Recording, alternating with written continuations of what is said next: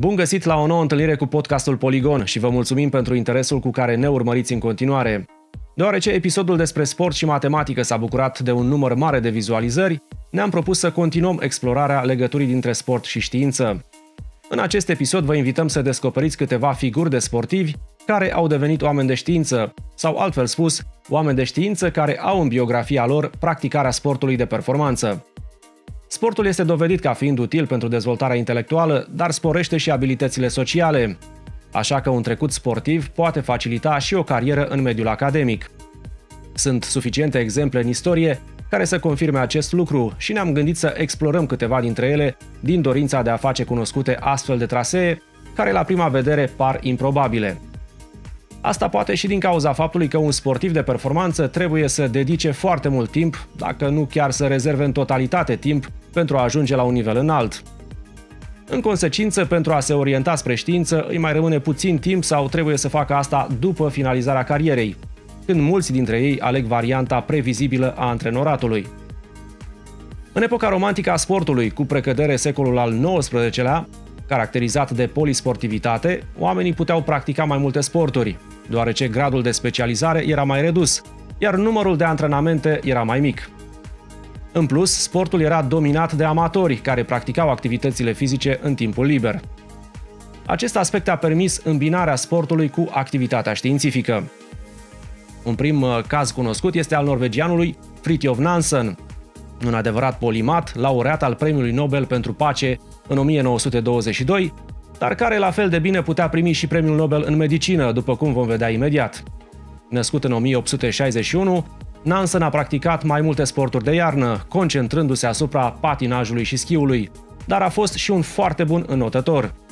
A fost de 12 ori campion național al Norvegiei la cross country, acea competiție de schi unde sportivii se bazează doar pe propriile mijloace de locomoție pentru a parcurge un teren acoperit de zăpadă, fără a avea un traseu marcat. Calitățile dobândite în acest sport i-au fost de mare utilitate în 1888, când a traversat Groenlanda. Pe lângă performanțele din schi, Nansen a câștigat și competiții de patinaj, cum ar fi o cursă clasică de 5 km la Oslo, la vârsta de 15 ani, după care a bătut recordul mondial la patinaj viteză pe distanța de 1 milă, la doar 17 ani. Nansen a și dedicat o carte activităților sportive din vremea sa, publicată în 1925 sub titlul Zile sportive în Norvegia sălbatică. Activitatea sportivă a fost dublată de rezultate remarcabile în alte domenii. În 1887 a publicat o teză de doctorat în care a formulat teoria neuronală, care susținea că sistemul nervos este alcătuit din celule nervoase separate, mai degrabă decât un continuum de tuburi. Pentru o cercetare în același domeniu, realizată cu aproape două decenii mai târziu, Santiago Ramon y Cajal, despre care am vorbit într-un episod anterior legat de știință și arte, a primit premiul Nobel pentru medicină. Numai că în loc să-și popularizeze cercetarea, Nansen și-a prezentat teza și a plecat să exploreze nordul înghețat. A traversat Groenlanda prin interior în 1888 și a ajuns celebru la nivel global pentru expediția la Polul Nord din perioada 1893-1896. Descrierea acestei aventuri cu adevărat impresionantă poate fi citită în Jurnalul Expediției spre Polul Nord. Întors în Norvegia, Nansen și-a publicat cercetările și a continuat activitatea științifică, fiind considerat unul dintre fondatorii oceanografiei și ai neurologiei moderne. A pus bazele unui laborator de oceanografie la Oslo, a participat la numeroase expediții de cercetare și a scris articole științifice cu impact la nivel global. Odată cu primul război mondial, Nansen se orientează aproape în totalitate spre un alt domeniu de activitate, ajutarea refugiaților, pentru care primește în 1922 Premiul Nobel pentru Pace. Contemporan cu Nansen a fost și Willem Einthoven, laureat al Premiului Nobel pentru Medicină în 1924 și care este cunoscut deoarece a inventat EKG-ul, aparatul care realizează o electrocardiogramă. Înainte de a-și câștiga renumele ca om de știință, el a fost un practicant și un promotor al educației fizice și sportului în Olanda. Născut în 1860 în insula Java, care la acea vreme era parte din coloniile olandeze, Willem Einthoven a ajuns cu familia sa la Utrecht, unde a practicat canotaj, gimnastică și scrimă. A fost participant și organizator al multor competiții. În perioada studenției a fondat un club de canotaj, apoi a devenit președintele Uniunii de Gimnastică și Scrimă de la Universitatea din Utrecht. Interesant este că o accidentare la încheietură la un concurs de scrimă, urmată de un tratament incorrect, l-a determinat să se apuce de canotaj pentru a recâștiga mobilitatea brațului. Istoricii sportivi olandezi îl consideră o figură exponențială în dezvoltarea sportului din această țară, însă prin rezultatele științifice a obținut o notorietate globală. Ca medic și profesor la Universitatea din Leiden, Willem Einthoven a făcut cercetări pentru a descoperi un instrument care să măsoare cu acuratețe curenții electrici ai inimii. La vremea sa se cunoștea despre existența lor și existau câteva aparate care făceau măsurători aproximative ale impulsurilor cardiace. Olandezul a conceput un instrument cu care în 1905 a realizat prima electrocardiogramă. Numai că aparatul era prea voluminos, avea 270 de kilograme și era nevoie de 5 persoane ca să-l opereze, deoarece avea foarte multe fire. Nu putea fi cărat lângă patul pacienților, ci pacienții trebuiau aduși în laboratorul lui Eindhoven, unde era aparatul. Iar de multe ori erau prea bolnavi pentru a face acest drum. El a continuat să îmbunătățească acest instrument, reducându-i dimensiunea, iar în paralel a făcut și cercetări remarcabile privitoare la performanțele inimii, modul corect de plasare a electrozilor, calibrarea lor și sensibilitatea acestora.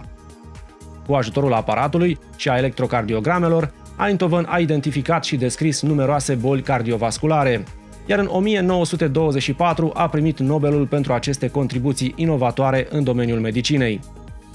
Numele său este folosit în medicina zilelor noastre când se face referire la triunghiul Eindhoven, pe care studenții la medicină îl învață la cursul de electrocardiografie. Triunghiul Eindhoven este echilateral, are în centru inima și este folosit pentru a plasa electrozii la distanță egală de cord pentru a determina axa electrică a inimii. Sistemul educațional american facilitează un traseu care să cuprindă o carieră sportivă urmată de una științifică.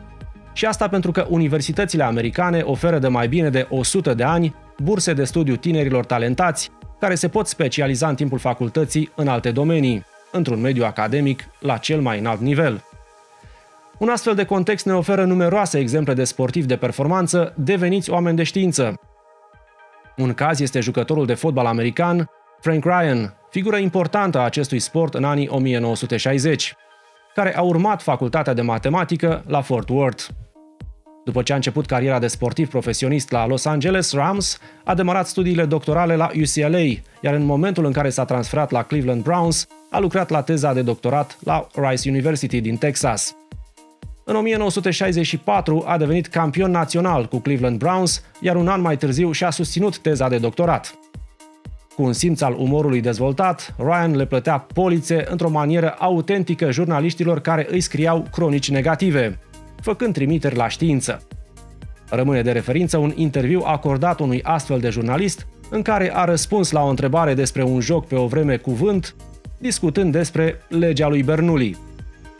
Publiciștii răspundeau cu editoriale pe măsură. Spre exemplu, Red Smith, jurnalist distins cu premiul Pulitzer, glumea într-un text al său că, citez, Ofensiva echipei Browns este alcătuită dintr-un fundaș care înțelege teoria relativității a lui Einstein și alți 10 coechipieri care nu au auzit de existența ei. După cariera sportivă, Ryan s-a orientat spre mediul academic. A predat matematică, a publicat articole importante în reviste de specialitate, a fost premiat pentru activitatea respectivă și a condus cercetări în analiză complexă. Ca o mică paranteză, astăzi legătura între educația superioară în Statele Unite și sport este încă foarte puternică. Se organizează unele dintre cele mai faimoase și performante competiții dedicate studenților, iar Liga de Basket studențească este încă principalul furnizor de jucători din NBA. Însă dacă în trecut era permis elevilor să ajungă în NBA direct de pe băncile liceului, un exemplu fiind extrema de forță Jermaine O'Neal, cel mai tânăr jucător ajuns în NBA la vârsta de doar 17 ani, Astăzi regula a fost revizuită și jucătorii trebuie să fie cel puțin absolvenți de liceu pentru a ajunge în Liga Profesionistă de Basket. Un alt exemplu vine din domeniul istoriei, mai exact cel al istoriei sportului. Arndt Kruger este unul dintre cei mai cunoscuți specialiști ai acestui domeniu. Pare cumva naturală și facilă orientarea sa dinspre arena sportivă către un domeniu în care avea deja cunoștințe. Arndt Kruger a fost de 10 ori campion al Germaniei la atletism și a participat la Jocurile Olimpice din 1968. Înainte de a fi însă un expert al istoriei sportului, Kruger s-a specializat în istoria evului mediu și istoria modernă. Ulterior avea să fondeze Comitetul European pentru Istoria Sportului. A 25-a ediție a Congresului, organizat an de an, de acest organism a fost în 2022 chiar la București, iar de coordonarea acestuia m-am ocupat.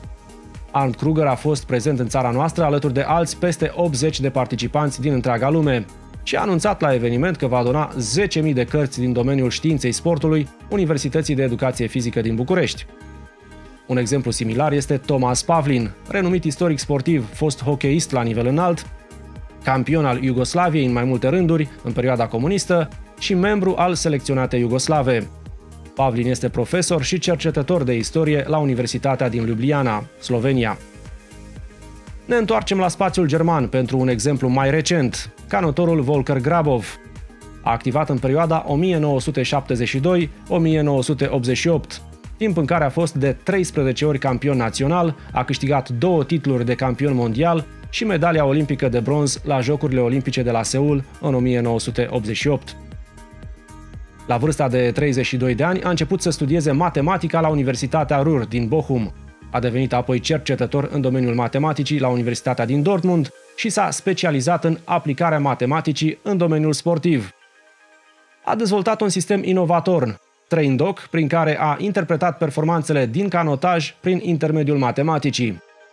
Programul său de interpretare a datelor a fost un succes, astfel că a fost implementat la nivel național nu doar în canotaj, ci și în sporturile de iarnă, precum schiul. Loturile olimpice se pregătesc în acest moment pe baza datelor extrase din sistemul TrainDoc al lui Volker Grabov. M-am folosit de experiența mea sportivă și de cunoștințele matematice pentru loturile naționale ale Germaniei, dar munca mea ar fi fost incompletă fără activitatea derulată de colegi, biologi, medici și antrenori mărturisea Grabov într-un interviu. Un alt sportiv care s-a orientat spre matematică, dar care apoi a migrat spre un domeniu apropiat, este italianul Mauro Ferrari. Născut la Padova în 1959, acesta a practicat basket la clubul Gali San Giovanese. Acea perioadă sportivă a fost determinantă în construirea caracterului meu, spunea el. A jucat basket până în perioada de studenție la Facultatea de Matematică din Padova. A plecat la un masterat în Statele Unite, iar această mutare a consfințit finalul carierei sale sportive. A devenit însă un cercetător de referință în nanotehnologie, mai exact în nanomedicină. Din 2020, Ferrari este președintele Consiliului European de Cercetare, instituție a Uniunii Europene responsabilă să financeze cercetarea științifică și tehnologică pe teritoriul Uniunii Europene. Pe lângă activitatea academică, Mauro Ferrari participă la numeroase acțiuni de promovare a basketului, mai ales în regiunea sa natală, Toscana. Alte cazuri pe care le-am amintit în alte episoade sunt americano-canadianul John Urshel și austriaca Anna Kiesenhofer. Urshel este fost jucător de fotbal american pentru Baltimore Ravens. S-a retras în 2017 din activitatea de sportiv profesionist pentru a se dedica matematicii pe care o studiase la Pennsylvania State University și pe care a aprofundat-o la MIT, unde a lucrat și a susținut lucrarea de doctorat. Pe durata studiilor, dar mai ales după, Urshel a publicat articole științifice în reviste importante de matematică. În 2019, autobiografia sa intitulată Mind and Matter, A Life in Math and Football, a fost primită cu mult interes de publicul american. Anna Kiesenhofer a fost una dintre marile surprize ale Jocurilor Olimpice de la Tokyo. Austriaca a câștigat medalia de aur în cursa de ciclism pe șosea, iar cu această ocazie întreaga lume a aflat că sportiva este de fapt și cercetătoare cu normă întreagă la Universitatea Politehnică din Lausanne. Ea lucrează în departamentul de fizică matematică și este preocupată de ecuațiile cu derivate parțiale. Pentru Jocurile Olimpice de la Tokyo, Kiesenhofer s-a antrenat singură. Mi-am conceput singură planul de pregătire, am parcurs literatura științifică din domeniu, dar foarte multe aspecte le-am învățat din practică și din greșeli, Ciclismul și un doctorat în matematică sau fizică au un lucru în comun, anduranța, iar pentru asta trebuie să te pregătești mental, remarca Anna Kiesenhofer. După succesul de la Tokyo, austriaca a declarat că nu va renunța la activitatea științifică, dar și-a redus norma de lucru, deoarece a fost copleșită de invitații la concursuri și sponsori. Însă este convinsă că în 4-5 ani, când probabil performanțele vor scădea, se va întoarce la un job full-time în cercetare. Voi încheia cu un exemplu din zilele noastre, care este chiar român. Ștefan Vuțescu este deja unul dintre cei mai promițători medici ortopezi din Statele Unite, după ce a avut o carieră de atlet de performanță. A fost multiplu campion național în probe de sprint, după care a plecat la studii în Statele Unite, unde a continuat să concureze în competițiile din colegiu, renumite pentru competitivitate și audiență. Și acolo, Vuțescu a avut rezultate foarte bune, dar s-a accidentat, astfel că s-a dedicat în totalitate medicinei. În prezent este medic la Brown University, unde derulează și activitate de cercetare la nivel înalt, cu articole publicate în reviste bine cotate. Lista cu exemple este mai amplă, însă ne-am propus să prezentăm cazuri din cât mai multe epoci istorice. Dacă și voi aveți astfel de exemple, vă invităm să le plasați în secțiunea de comentarii. De asemenea, vă readucem în atenție site-ul platformei noastre, Poligon Educațional, unde vă propunem o serie de cursuri și unde vă pregătim noi surprize. Până data viitoare, nu uitați, fiți curioși, puneți întrebări și exersați-vă mintea.